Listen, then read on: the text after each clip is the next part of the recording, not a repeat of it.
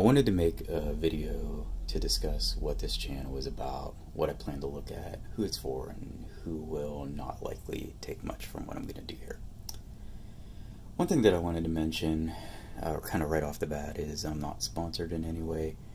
Everything that you may see on the channel, the cars, the equipment, the printers, all of that stuff I've paid for with my own money. I don't have anything being given to me.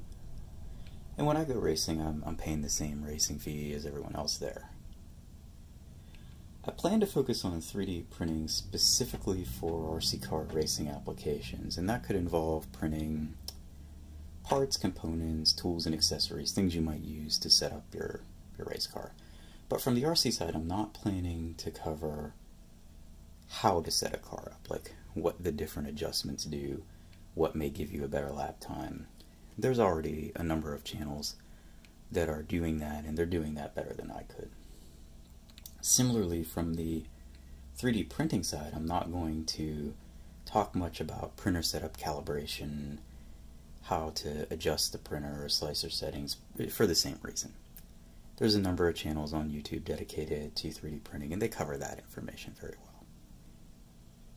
From a racing point of view, who I'm really trying to reach is the club racer. Someone who's going out each weekend, club races with the primary goal of having fun. My initial idea for this was to see how 3D printing could be used to reduce the overall running costs for a club racer. RC racing is a very expensive hobby, so if there's anything, any way we can use 3D printing to reduce costs, let's see if we can do that.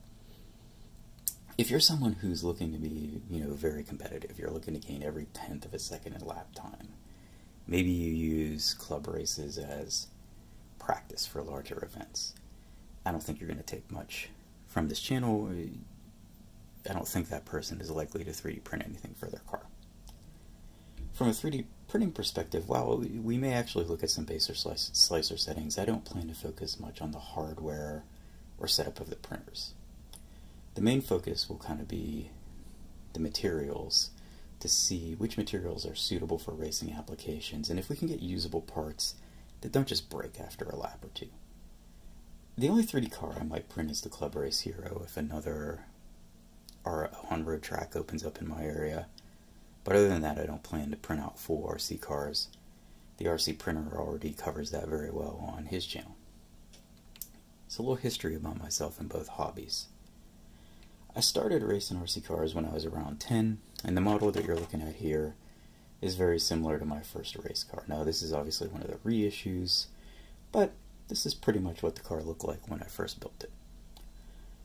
I raced until I was around college age, um, and racing these cars was why I chose to go to college for electrical engineering. I quit when I started my professional career, uh, but I picked the hobby back up around 2002 or 2003. There was a carpet track in the area that I live, and I started racing a TC4 at that time. Met some really cool people there that I still race with today. They're still doing it. I quit again for a long time. I quit for about 15 years, and there's a number of reasons why I quit for such a long time. While there are plenty of things I like about RC cars as a hobby, there's a few things about this hobby that bother me, and they still bother me to this day, but I did pick up the hobby again uh, and I've been racing for probably about a year, and right now I'm doing uh, off-road. From a 3D printing point of view, I started with my first printer around 2019, if I remember correctly, and like a lot of people, I started with an Ender 3. So, printing on an Ender 3, I feel like I paid my dues learning how to build a printer, how to level the bed manually, how to do E-steps, how to do filament profiles, all of that kind of thing.